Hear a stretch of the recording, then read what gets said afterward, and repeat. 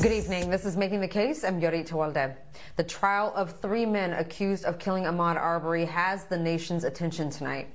Divisive and what most would call racist statements made by one of the defense attorneys sparked outrage on social media. Now those comments have prompted black pastors from across the country to make plans to head to Georgia. BNC's Dre Clark has the latest from Brunswick tonight.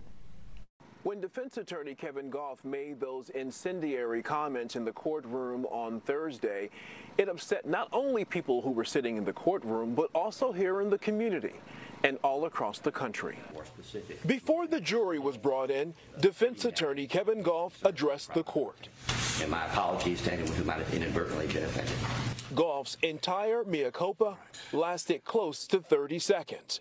It was far less than the three minutes he spent in court Thursday, claiming Reverend Al Sharpton's recent appearance in the courtroom with the Arbery family intimidated jurors. But it's what he said next that made eyes roll and mouths drop. Obviously, there's only so many pastors they can have. And if their pastor's Al Sharpton right now, that's fine, but then that's it. We don't want any more black pastors coming in here. Almost immediately, Gough's words went viral, trending quickly on social media. Ben Crump saying in a tweet, it's not illegal for black pastors to support the parents of Ahmaud Arbery. Going on to say, we are going to bring 100 black pastors to pray with the family next week. The other defense attorneys who sit next to Gough in court also found his words offensive. It's a ridiculous comment. And when we try approaching Gough, do you Thank think you, what sir. you said yesterday was was racist in any way? What I say in court, I say in court.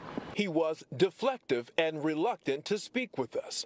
But no one was more offended than Wanda Cooper Jones, Ahmaud Arbery's mother. What Gough said yesterday was very insensitive. Um, I, I, don't see how anyone could see Al Sharpton's presence as being something that was negative. The first full week of testimony concluded with prosecutors calling more law enforcement to testify. Prosecutors say Gregory and Travis McMichael, along with William Bryan, murdered Ahmaud Arbery because they thought he was a black criminal. The three men have pleaded not guilty, claiming Arbery's killing was self-defense. Next week, we're expecting black pastors from all across the country to make the trip here to Brunswick, Georgia, to sit and to pray with Ahmaud Arbery's family and also to send a message to defense attorney Kevin Gough that they are here and there's absolutely nothing he can do about it. Court resumes on Monday morning. In Brunswick, Georgia, I'm Dre Clark for Making the Case. Later in the show, I talked to a religious leader about the impact of those statements and how the faith community is rallying to support the Arbery family. But here to give this week's headlines a legal spin are my panel of experts, veteran prosecutor and BNC's legal contributor Paul Henderson and criminal defense attorney Latoya Francis Williams. All right, guys, let's get started. Uh, the comments made by William Bryan's attorney Kevin Gough yesterday um, and the backlash he's getting today. Let's watch a clip of that right now. There's only so many pastors they can have. And if that, their pastor's Al Sharpton right now, that's fine, but then that's it. We don't want any more black pastors coming in here or other Jesse Jackson, whoever was in was in here earlier this week, sitting with the victim's family. If my statements yesterday were overly broad, I will follow up with a more specific motion on Monday, uh, putting that and those concerns in the proper context. And my apologies to anyone who might have inadvertently been offended.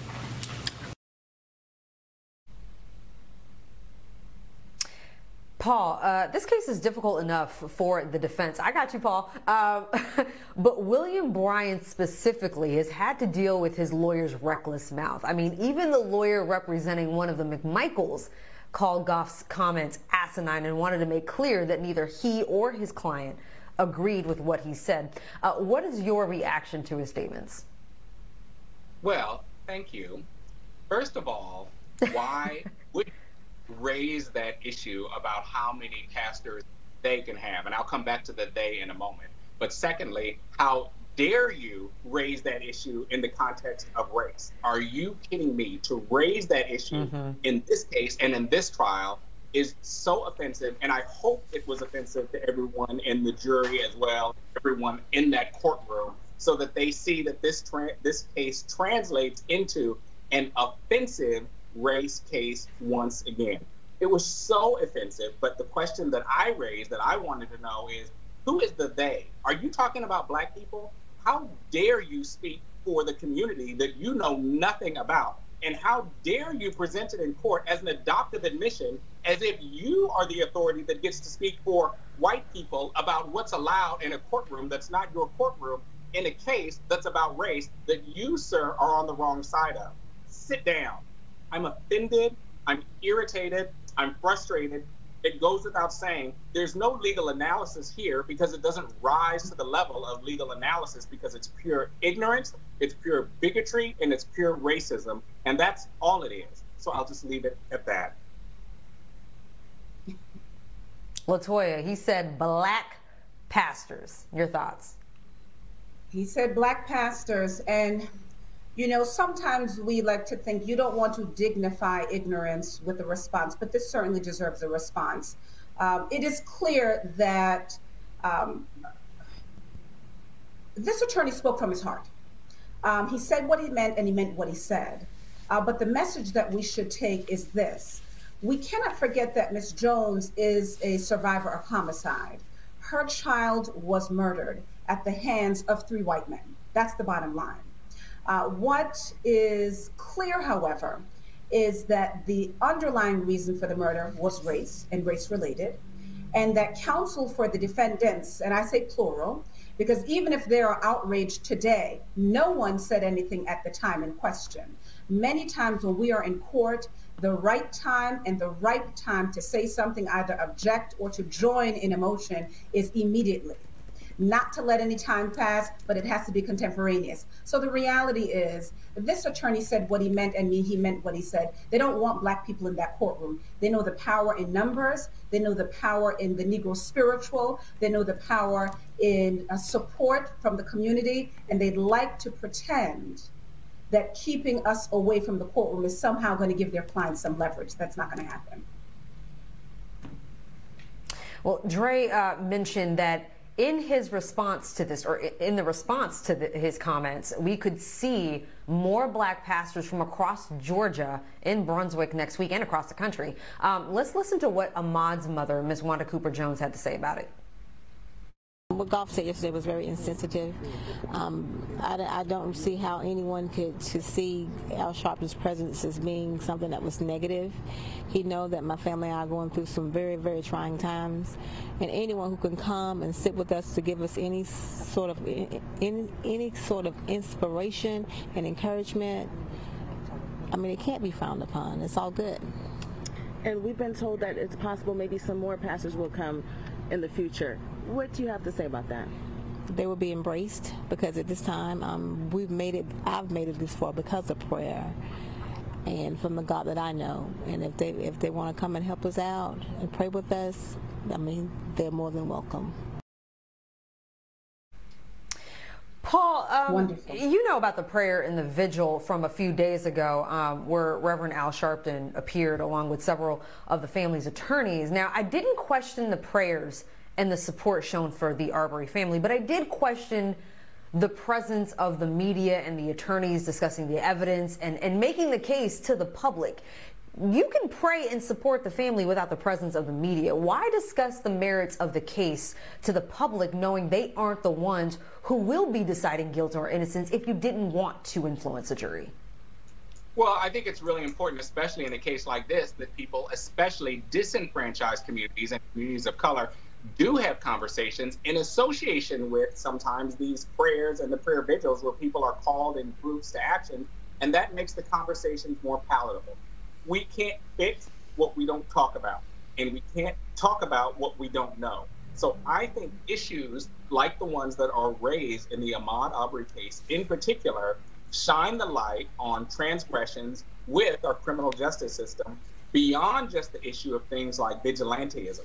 So we have to talk about the reaction of police to crime scenes, the interaction of law enforcement with victims, the interaction of law enforcement with people of color, how people are charged with crime, how people are sentenced in crime, all of those race disparities that have to be unpacked, it makes us all better advocates if we understand those systems. And so I'm not offended by those conversations. And I don't connect those conversations to an intervention or jury nullification. There's separate issues, and I support that pastors want to be a part of supporting the community and the family by being there and participating in these gatherings that ultimately, at the end of the day, uplift communities of color and other disenfranchised communities about our criminal justice system.